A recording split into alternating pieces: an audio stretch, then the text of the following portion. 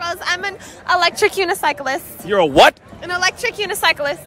when I turned 13, I hit puberty. Go. I'm a lady. You know, that's a dude, right? Okay. That's Who's a dude? who's a dude? Who's a dude? You know who's a bitch? Him. The only way to, is to do the smell test. What's the smell test? You gonna You can always tell. Want me to, kind, want me to smell your pussy? Genu- No. a, a, a genuine, genuine. Well, ask your husband. Does, does your wife have a dick? Sweetie, your dick never bothered me.